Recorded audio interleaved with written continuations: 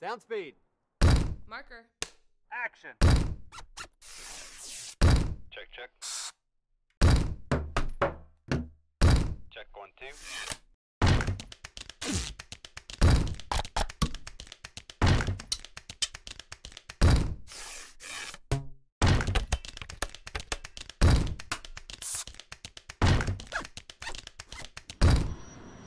Son of a. Sound speed. Action.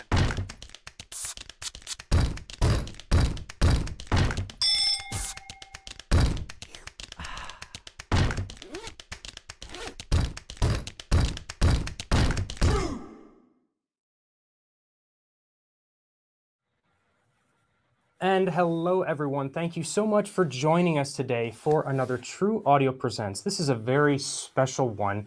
Today, we're live with Jason from Shure to talk about a brand new product that they have, the ADX 5D. We have a commercial, is that right, Jason? We sure do. We'll kick it off with uh, showing this bad boy off a little bit. Let's do it.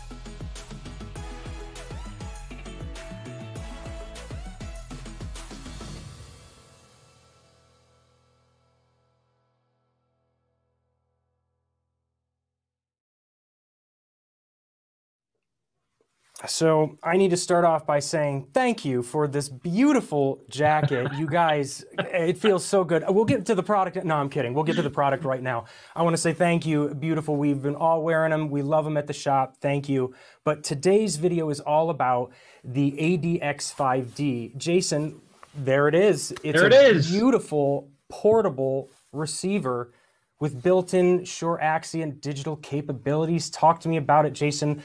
Why don't we start with what is Axient Digital? I mean, I think we should start there, right? Yeah, that's a that's a that's a great starting point. I know there's a lot of people that know Axient Digital, and maybe you don't. So, you know, Axient Digital uh, Shure's flagship, uh, top tier, true diversity digital audio system. Uh, it's been around for uh, a number of years here. Really, uh, you know, made its claim to fame in in live audio, sound, a little bit of broadcast, and now we've uh, we set our sights on the location film and, and television markets uh, with this slot and receiver. Uh, so really rounding out the ecosystem of Axient Digital, there's a large suite of transmitters. I'm sure we'll get into today, one for pretty much any application you can think of. Uh, but at its core, Axient Digital is, uh, you know, a fantastic top tier wireless solution for your wireless needs.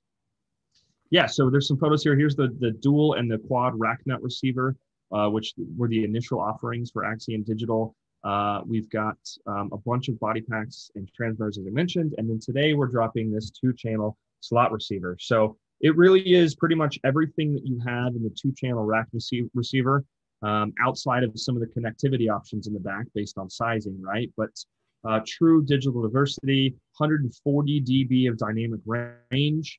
Um, there are three bandwidths. The, the main one that we talk about is G57 or A band, and it's 470 to 616 megahertz. So a huge spectrum availability for all of the devices here. You don't have uh, a certain bandwidth of transmitters down here and a certain bandwidth up here. It is one wideband system. So you get a ton of RF real estate, you get immaculate sound quality, and you get really robust, true digital RF. One of the things that I love, Jason, about the ADX5D is the integration, the form factor of this device, and it's not a toy. Like we need to start off by that. Um, it is so durable. I mean, it's machined. Is it, it what what what is the metal made out of? Is it aluminum or what is it? Uh, it is a very strong chassis. That's a great question. Yeah, I uh, all metal construction is the is the line that I guess that we have, but it is it is robust. This thing Everything can take a beating. a That's what I'm getting at for sure. Yeah, everything we make uh, at this level of product is really, really stress test in a ton of environments. Uh, you know, we've got an immaculate real world scenario testing facility in Chicago at our headquarters that puts this, these products through a range of, you know, humidity, heat, moisture, all the things that you're going to encounter out on location, wherever you may be, drop tests, um, you know, the, the R&D and then the um, quality control is, we pride ourselves on. So, you know, it's not a product that is going to break down when you need it the most, um, and it will function in all of the elements. Absolutely. I think it's extremely durable and I think it's even more versatile if, if we really got into it because you're you're like you said, if you guys go back to the the receivers that you had before, the rack mount receivers, you're getting all of that guts into something that can like slot into a camera or into an ENG bag or into you know some of the electro you, you know the the rack receivers that we use. Yeah. Uh, so it's it is a very versatile system. And now what we need to do is talk about the versatility of, of the software and especially about ShowLink, because I think that is what really takes this to the next level and why everybody's really getting stirred up and excited about it. Tell me about ShowLink. Yeah, my favorite example today has been uh, you talk about size and what we fit into this little package, right? So Mhm. I love to show this device. This is the AD610. This is the current device that you need for ShowLink connectivity with our rack mount receivers. Uh, and if you you can see, you know, the size of this, and it's PoE powered, and you know, if you're talking about going on tour or installing something, it's you know, it's very easy unit to install. But we've taken that entire piece of technology and crunched it down into somehow inside this, and there's your little Zigbee 2.4 antenna on the front uh, of this receiver here, right? So you talk about taking a lot of technology and crunching it down into this little box here, and to to fit that form factor that is so relevant in this film and TV and, and remote audio sound, location sound um, industry. Absolutely. And so, what is ShowLink for those of you that don't know? ShowLink is our 2.4 gigahertz um, Zigbee protocol back channel remote control for transmitters. So, essentially, if you have a um, ShowLink enabled transmitter, any parameter that is on that transmitter from the gain, from the frequency, from RF muting, um, any of those parameters that you would need to set or change, you can make all of those changes remotely, wirelessly over the air. Um, and you can do that virtually instantly. Um, so, and then the next level to ShowLink, especially when you talk about this slot form factor, is that that allows you to integrate this this you know two channel slot receiver into all of our software. Uh, so we have Wireless Workbench, which is the um, PC or Mac version of software, and then we have uh, Channels Plus, which is the iOS, iPad, or Android software. Um, both of which are free to download. You can go download those right now for free. You can get that software. They do some amazing things cross products, but really they really shine when you get ShowLink devices connected to them over you know the wireless link that exists and I can remote control all of those transmitters and devices from my iPhone or from my MacBook, and you get this amazing ecosystem of controllability and easeability um, and function. Absolutely amazing. I think one of the follow-up questions that a lot of people are going to have from ShowLink is, you know, okay, so we're we're receiving on UHF and we're remote controlling with the Zigbee protocol 2.4 gigahertz. Yep. Um, talk to me about range of well, both the, the UHF as well as remote control. Do I need to get closer to the ShowLink in order for the remote control to go out? Talk to me. Yeah, absolutely. So we spec um, uh, 300 feet for both. Really, 330 is the the UHF transmitter, and 300 is what we spec for ShowLink. Um, you know, this is all industry or um, environment and physics dependent, right? As is all things RF. So uh, if you have a ton of noise floor in your 2.4 space and that's not well managed, then you you know you might have some difficulties there. This is not a magic uh, a magic tool that solves all your problems, but Yeah, assuming that you do the basics of coordinating your wireless, um, including that 2.4 spectrum, you should see uh, equal uh, or very close to equal range of the UHF transmit and the Zigbee transmit. Um, they should be almost the same anywhere that that, that transmitter goes, uh, assuming that you've deployed your um, ShowLink antenna in the same way, or that you've got the same line of sight as you do if you're talking about the bag receiver. Um, you should have almost the same range. Okay, and I guess you know it just kind of depends on the application of what you're doing because you know if you're working on a cart with the the rack mounted receiver versions and you Yep. have a ShowLink in Yep. theory you could remote that if you needed it to be farther i'm assuming right Yeah, hundred percent. Right. We see people that some people have early adopted these these rack mount receivers and built carts, and some people leave them on their cart. Some people put them on their remote antenna tree, which is a very common thing to do. Right. And so the 610 ShowLink is run on PoE over one Cat five. Um, if you are don't have PoE or you need to remote uh, power that device for some reason, it does have a DC power input. And you know we're talking about this 610 here. Uh, but really, you know, I, we see That people take these take these whip antennas off uh, in bags, even right, and connect them to a small DA and and put up an external antenna.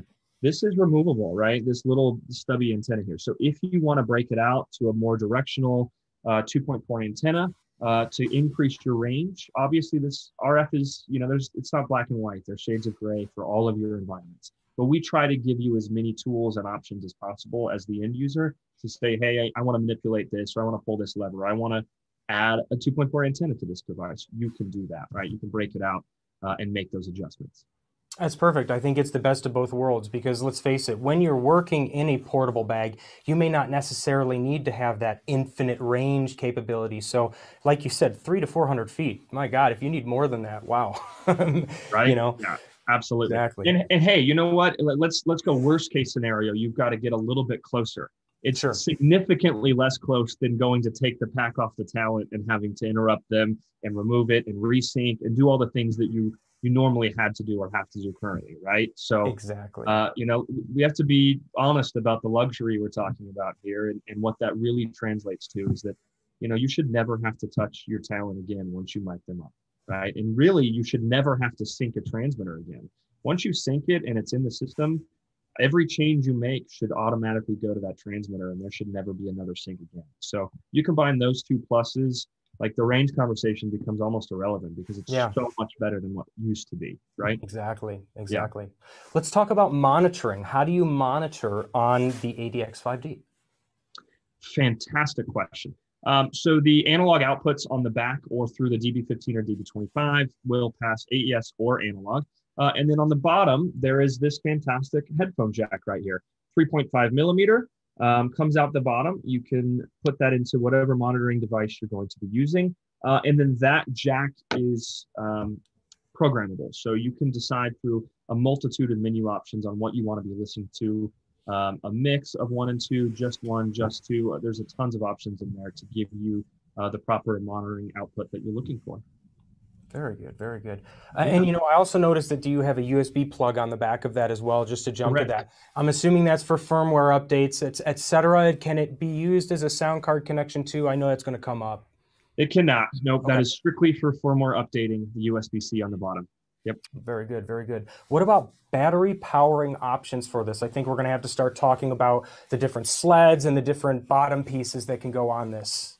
Yeah. So the great graphic pulled up right here. You can see the, the two ports on the bottom. Uh, and then the, the image in the middle is our um, L or NP type battery sled um, that is available that offers uh, use with the common L or NP type batteries that we see in this market. Uh, and then the picture on the right is our cold shoe mount. So um, I have one of those kind of set up right here. This is what that looks like in, in real world scenario. Um, so I've got a very large NP battery on top there. Obviously, we make the, you know they make them in smaller sizes, uh, and then that cold shoe mount on the bottom. So there's your mounting options. Um, there are two slide points for this L or NP battery types, um, and that is just so that you can hot swap your batteries as you get lower. It doesn't require two batteries. It just gives you the option to go ahead and put a second one in, and then pull the first one, and you can continually charging and never have interrupted power. Incredible. You know, we actually have Yeah. a question from the uh, from the audience here, uh, from Citizen Doug. He says, "Shure recommends encryption to improve reception. One of the applications for this product would be location coverage of a live event in progress. Can you share a key for multiple receivers? Okay, so I think he's asking about uh, encryption. Like, can you have an encrypted transmitter that transmits the same signal to multiple receivers that have the same encrypted key? You cannot. You Okay. cannot. So when you IR sync a transmitter to a receiver, if that re- channel has encryption on it, that is where that link happens. Um, and if you were to go sync that transmitter to another channel that had encryption, it would break the prior. Um, so you do need to turn off encryption, and then you can have multiple receivers for one transmitter. Um, I'm curious about the beginning of that. I'm not sure that we recommend encryption to improve range or reception. Yeah. That's there's no uh, you know our our encryption is built into the modulation scheme at the beginning. It's just a, a choice for you to turn it on or off. Um, and mostly turning it off is due to this choice where we say, hey, we want two receivers. There's no latency added. There's no audio difference. There's no range difference with encryption or, or no encryption. Yeah, I would think that in a technical standpoint, the only thing that would happen is maybe a little bit more delay from the programming of the encrypted key. But yeah, like you're saying, reception improvement or you know that's going to be the same. Yeah, two Um, milliseconds, same RF. Uh, there's no there's no really degradation of anything with encryption or without. And there was one more follow-up question. Uh, also, will legacy Axient transmitters on other bands be compatible as long as they are in band? So I'm assuming you know like all of the transmitters he's wondering about in the Shure. Yeah. Uh, so uh, just clarify real quick there. There there are two lines of Axient, I guess. Axient Analog was the initial Axient line that came out, I, I believe, seven years ago, maybe maybe longer, and and now we have Axient Digital, which came out just shortly after Axient Analog.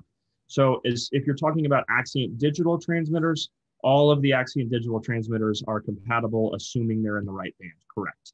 Um, Axient Analog transmitters will not be compatible with the digital line. Very good.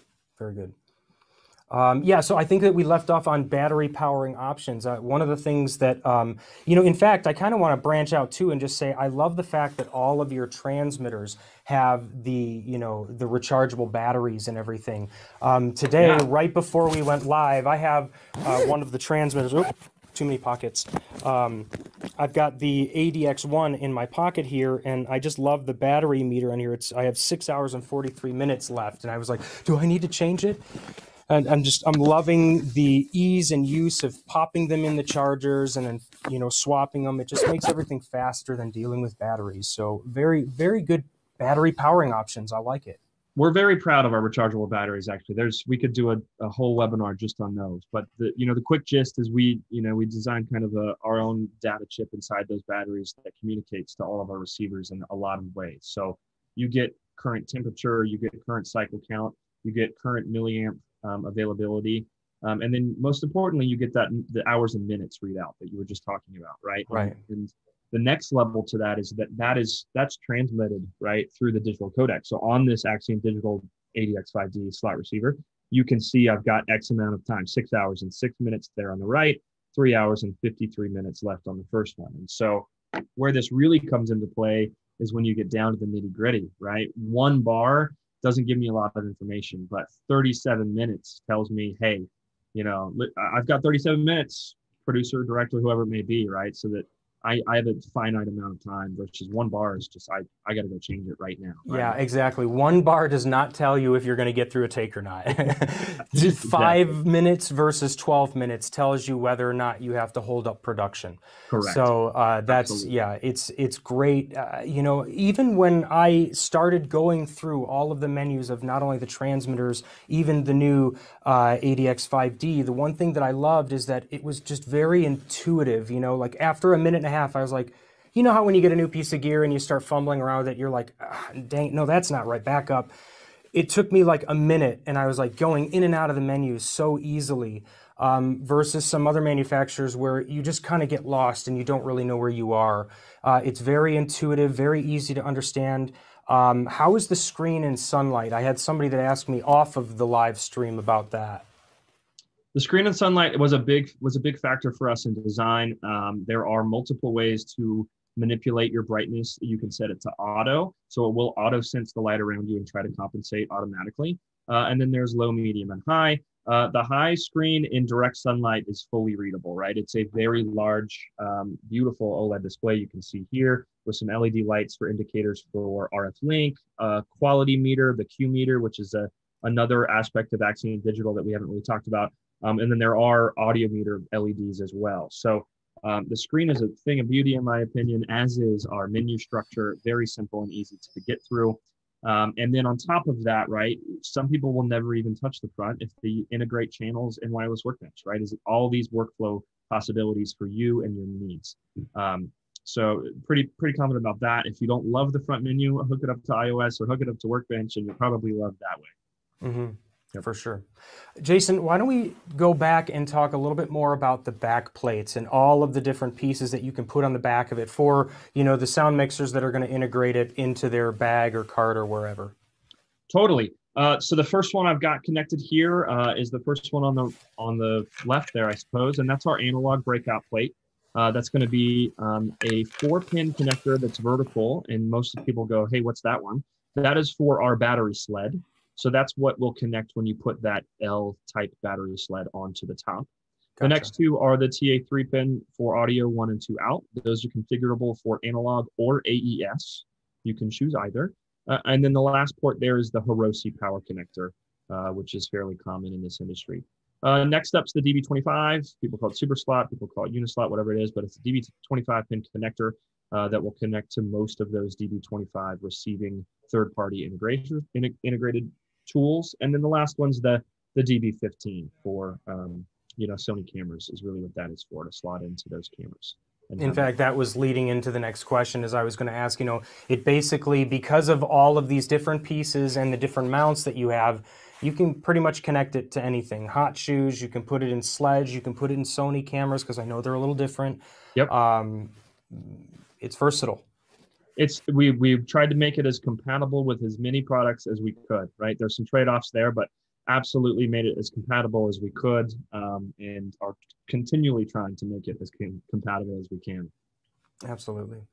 And you know what? I think that the last biggest question, and you already touched on it a little bit for me, uh, but it, it's again working with the wireless workbench and you know the channels app. You know, do you have any uh, any of a demonstration of how that works with the app? Like you know, for anybody that just doesn't understand, so it's you know the the the ADX5D is integrated and talking to all of the transmitters, and then the the phone or the mobile device is on a separate chain that's basically talking back and forth like this. Yeah, so it's it's networking. So you've got to find a way to get a 2.4 gigahertz Wi-Fi router connected to your external show, which would be this this AD610 that we talked about.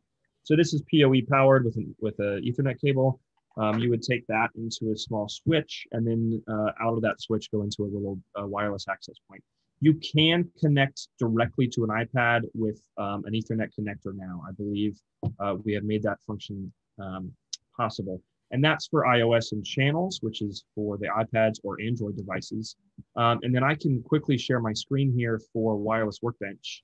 Um, and I've got the ADX5D set up here. So this is Wireless Workbench in the monitor page.